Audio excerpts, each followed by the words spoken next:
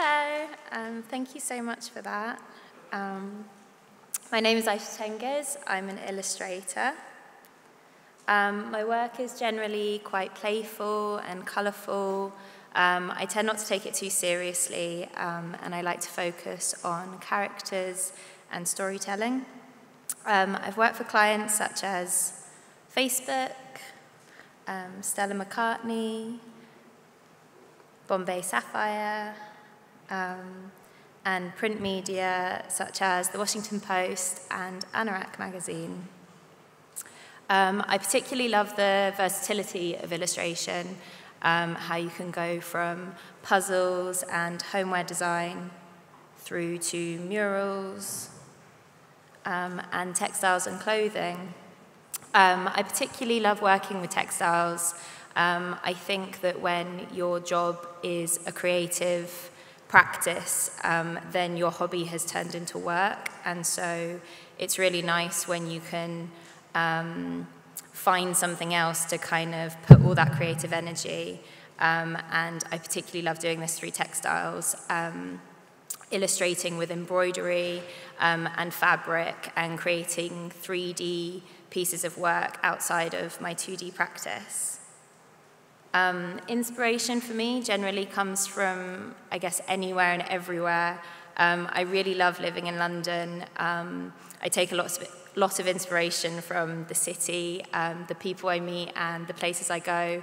All kind of feeds into my um, illustrations somehow. Um, but for certain, my initial inspiration and my love for illustration came from picture books. Um, I've always really loved picture books, and um, for myself, and I think a lot of people, they're your real first experience of enjoying art and experiencing it. Um, and I never really grew out of them, which I think is a good thing. Um, I certainly, it certainly contributed um, to my own style um, that I've adapted and what I'm drawn to when drawing um, block colours, simple and kind of clear line work, and that focus on playful characters. Um, this is a spread from Cops and Robbers by Janet and Allan Ahlberg, which was one of my favourites when I was younger. Um, I think it's a really nice example of um, pictures containing stories, like stories within stories. Um, and it was something I really enjoyed looking for as a child, kind of diving into the illustration and picking out all the characters and noticing what each one was doing. Um, being able to look at the illustration for ages and finding that comedy um, outside of the text that's on the page. Um, and it's something I really enjoy experiencing and exploring in my own work. Um, characters, outfits, and fashion is also something I really love. Um, I really enjoy it in real life. I love clothes, and it's really great to be able to play with this in drawing. Um, it kind of gives you endless possibilities to dress up.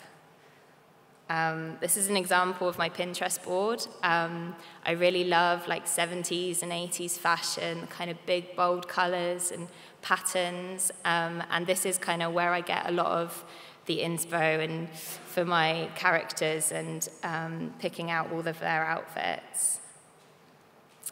Um, I always find this part of people's stories particularly interesting. Um, definitely when I was studying and when I was at university, um, I was always really curious how um, people went from being at university and being a student to then earning a real salary in um, a creative practice and working in a career of drawing. Um, for me, it felt like a really faraway dream and um, a slightly unattainable goal. So I just thought it would be nice to kind of take you guys through how I got there. Um, I've always wanted to be an illustrator.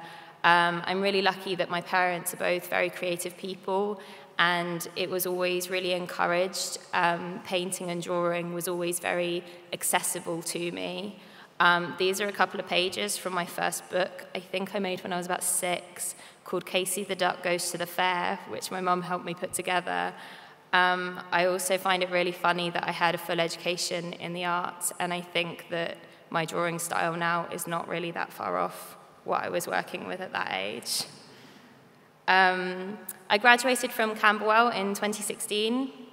Um, this was my final piece. It was a woven Turkish carpet, um, which was a really fantastic project to work on, um, but it did mean that I, grad I graduated with virtually no portfolio in um, illustration, and I didn't really have anything um, to kind of put out and show art directors to get them to hire me. So I kind of had to work out how to progress from that cozy, safe bubble of university into freelancing. Um, I really didn't want to leave London, um, so I had to get a job. Um, and so I didn't, um, I did initially try to get a job in a creative outlet, but um, as I had no experience, no one would hire me. Um, so I ended up in retail, and I actually think this was a massive blessing. Um, for me, it actually ended up being much more um, of a positive experience, I think, than getting a creative job. Um, I worked in retail for about three to four years. Um, this is a picture of me in the fitting room, um, working on my laptop and drawing on my tablet and basically building up the portfolio that I kind of so desperately needed.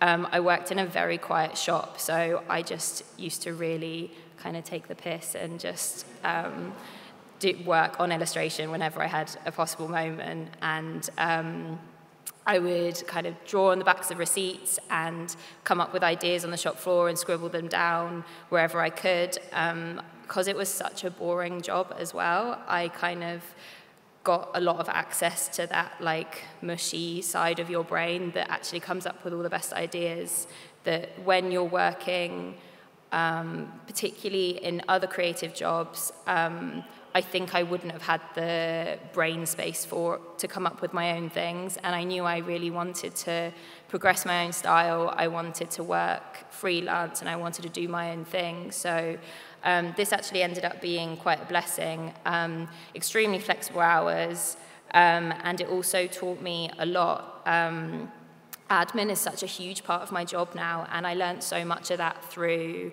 um, working in a shop. Uh, we had to email so many clients um, learning how to manage stock and where the merchandise came from that I was selling. It all kind of really um, filtered into my practice now and helped me learn how to run my own online shop, um, which really kind of boosted me into being able to work freelance full time.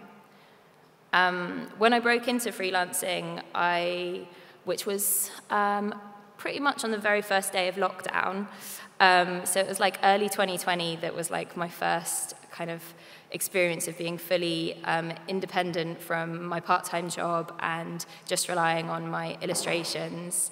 Um, I felt very, very proud of myself for being able to do that because it was a lot of work, but I kind of hadn't anticipated how vulnerable it can also make you.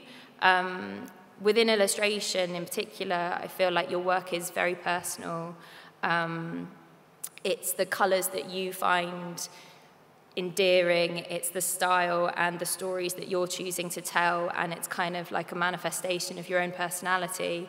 So when that's constantly being critiqued, um, your self-worth and your value can be very much affected by the success of your work, however you kind of feel what, that, what that's like. Um, it can feel so great getting lots of jobs, but then you're, you can feel concerned that your work is getting too commercialized and you feel like you build up a resentment for it. Um, to then the other side of that of having too much spare time um, and finding yourself in a bit of a creative block. Um, so it means that your mental health is hugely impacted by the work, um, and that in turn um, impacts the work that you create. Um, so it's really nice when jobs come through that are the perfect balance of this. Um, and I thought I would use this as a way to kind of just show you how my process and how I kind of uh, draw. Um, so this was a job called Helsinki Curious, which I worked on this year. Um, it was commissioned by the city of Helsinki and they contacted artists who had never visited the city before to create um, an illustrated poster of Helsinki without any visual research. So it was just solely based on imagination and stories.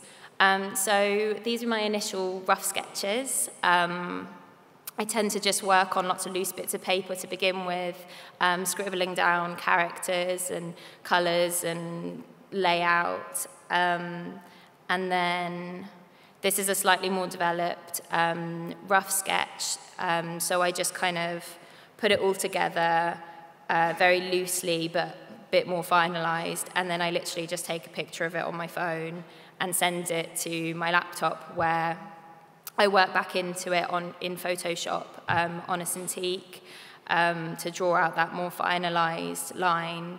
Um, color palette as well for me is such a big deal. I love color um, and I tend to get a bit stuck in the same color palette because I'm very much drawn to particular colors.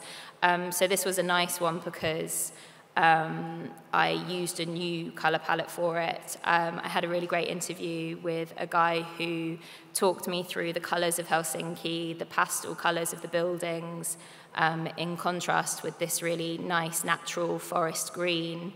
Um, and so that was a really great way be, for me to develop um, my colors. Um, and this is the final illustration, all the color added. And then um, the final posters up, this one was in Camden. Um, and then at the end of the project, I got to visit Helsinki and I spotted the um, campaign in the airport. Um, so that was just really lovely to see it out in the world. Um, it was a really joyful project um, with direction and deadlines and money to pay rent, but it also came with complete freedom um, and allowed me to be as playful and myself as I wanted to be. Um, so it was a real reminder of how fantastic this job can be. Um, and that's it. Thank you so much.